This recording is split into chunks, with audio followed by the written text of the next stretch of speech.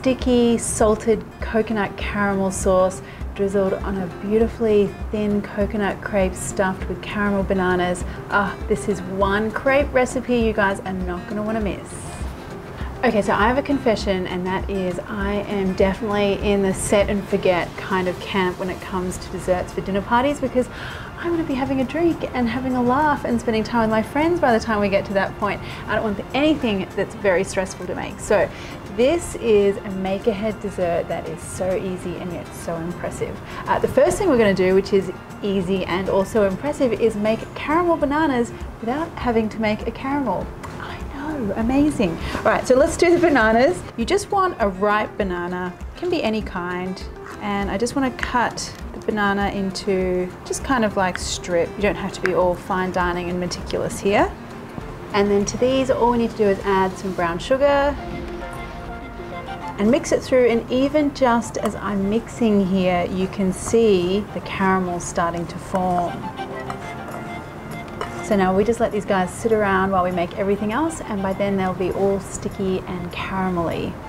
Now let's do the crepe batter. And I just want some plain flour, some caster sugar, and a pinch of salt.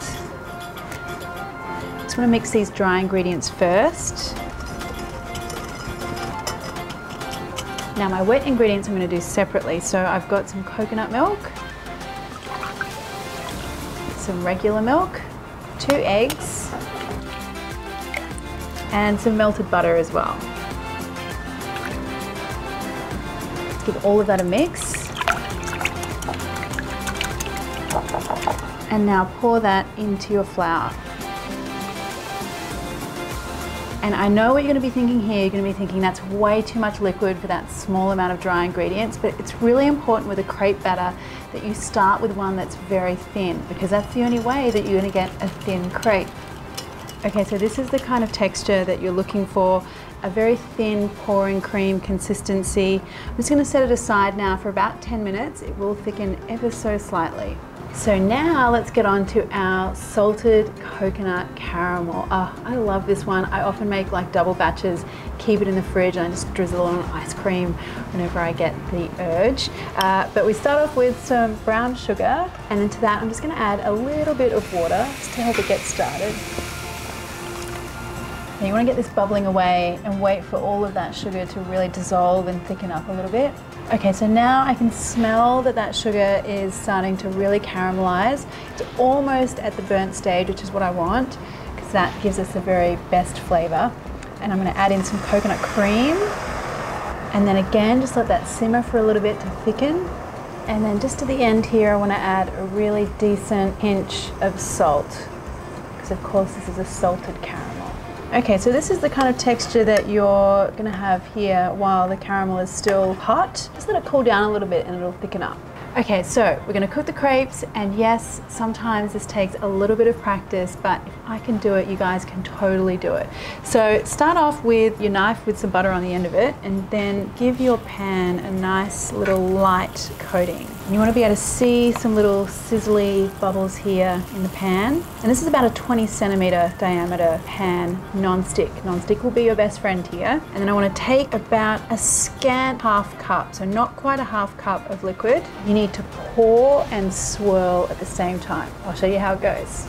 So pour in and swirl. And now keep swirling that batter around until you get a really even set layer. Now I'm just gonna come right out and say that I have made this crepe recipe and a million other pancake recipes and the first one is always rubbish, always without fail. So let's see what happens with this one, but I'm banking on it not being the prettiest of the bunch. And the idea here is that we're just waiting until the bottom gets a delicious kind of golden color and the top is set. So once you can touch the top of that crepe and it's not sticking to your fingers, so it's set all the way through, that's when you know you're done.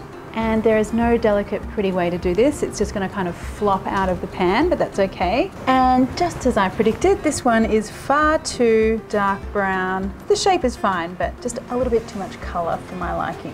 Always, first one never turns out. So that will be mine when it comes to the dinner party. Uh, but I like to put some baking paper on top of that before I start my next one. Okay, and again, you want a little bit of butter, and then swirl and rotate.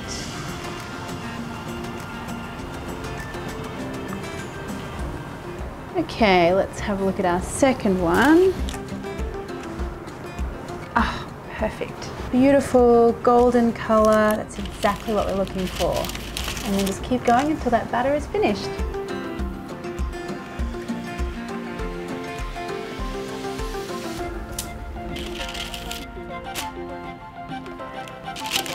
Okay, rolling these guys up is very similar to making like a giant spring roll. So grab one of your crepes, put it colored side down, and now have a look at these bananas. Look at how sticky and caramelly they are. Ah, pure magic and no effort on my behalf. Okay, so just put some bananas a little off center down the end here. And now fold up over the top and then fold the sides in and roll it up. And there you go, one very neat little banana parcel. Okay, so look at all our little folded beauties here. And the great news is you can do this up to a day ahead of your dinner party and then all they need is about 10 minutes in a warm oven until they're just a little bit warm before you plate them up. Now that's what I call set and forget. Love it. Okay, so when it comes to the serving time, this is what you need to do. Pop one of these down onto a plate, and the caramel as well, if it's hardened up in the fridge, just heat it up a little bit on the stove and then pour that over the top. And then a little bit of ice cream because, you know, ice cream. so there you go guys, a dessert that's super easy, you can make it in advance, you don't have to worry about it when you go to serve it up. Oh, like the ultimate dinner party guest.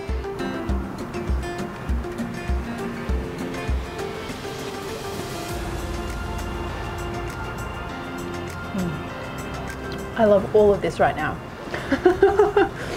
I can taste the coconut, so the crepe is really thin, but I can still taste that beautiful coconut flavor in there. I've got that beautiful caramel that's a little bit salty, mm. and then those sticky bananas inside, and of course the ice cream. So good.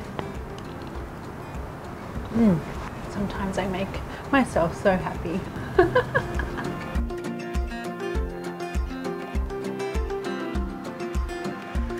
If you've got any comments or questions, pop them below. And if you enjoyed the video, why not hit that subscribe button plus the little bell one. That way you'll get notified every time I release a new video.